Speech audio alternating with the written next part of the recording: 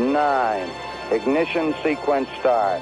On the 50th anniversary of Apollo 11, we remember the science and engineering that first put a man on the moon. We have a liftoff. Liftoff on Apollo 11. But there was also another story. I believe the marketing aspect of Apollo was as important as the spacecraft. I absolutely do. No single space project in this period will be more impressive to mankind or more important for the long range exploration of space. The ability for us to communicate how important this is and how amazing it is and how freaking cool it is was absolutely essential for us to have been able to do that program. The idea that we want to go to the moon is so audacious. It's also so expensive to be able to do that. And we had to get the public behind it. But public support wasn't a guarantee, so NASA set out to market the moon. The United States launches its two-man Project Gemini program at Cape Kennedy. And once again, the event is reported fully, openly, from pre-launch to recovery. The amount of detail that NASA provided was incredible the photographs that were taken uh, by NASA, whether they were on the ground or by the astronauts in the spacecraft, were all uh, freely available to the public. They insisted on television cameras in the Apollo spacecraft. Hello there, from the men in the moon. Creating the kind of content that both journalists and the public would be interested in that would help to grow interest in the space program. This is Apollo, the first of a family of spacecraft designed to transport Americans to the moon before 1970. Here at the Marshall Space Flight Center in Huntsville, Alabama, we are static testing the fourth of the booster stages of the Saturn 1B. There was a almost 300 page press kit for Apollo 11 this massive document allowed different types of media to figure out an angle that that they wanted to talk about. Did they want to focus on the spacecraft? Did they want to focus on the biography of the astronauts? Did they want to focus on something mundane as like how do they go to the bathroom? How do they eat? Here the astronaut is opening a packet of bite-sized items. These may be either freeze-dried or compressed foods.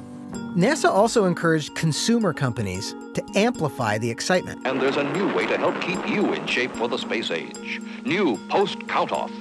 Post Count Off is made with nutritious oats. You can count on it. Fisher pens. They made the pens that the astronauts use in the spacecraft, or Omega watches. Tang is probably one of the most famous examples of a product that was used by the astronauts. Have a blast. Have some Tang. It got people to be very supportive of the space program. We wouldn't have just been able to say, okay, we want to spend billions of dollars. We want to spend, you know, 4% of our national budget to go to the moon for the next 10 years. That doesn't mean everyone supported it, but the public support was, was pretty essential. This is launch control. We have Public opinion polls from the 1960s show that the majority of Americans approved of Project Apollo but the nation was deeply divided over the cost of the program.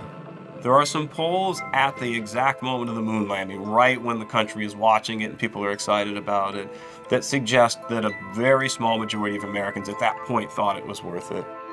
But holding the public's interest after Apollo 11 was difficult. I think we cast a nostalgic glow on it because even at the time, people were looking for something hopeful, something optimistic.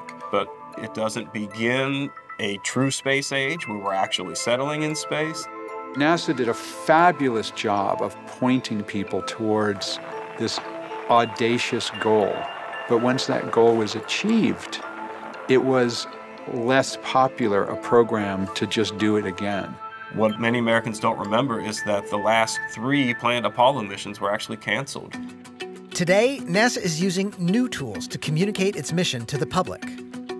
And private companies are now marketing their own plans for space exploration. Let me show you something.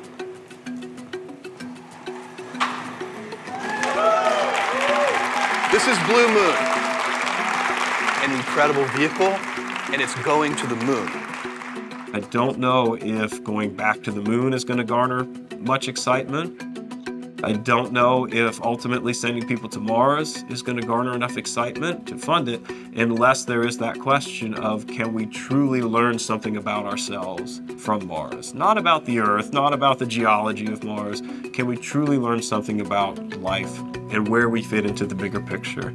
It's always about storytelling. The best marketers on the planet are able to tell stories. And that's what's important for space travel going forward is you need to rekindle our imagination.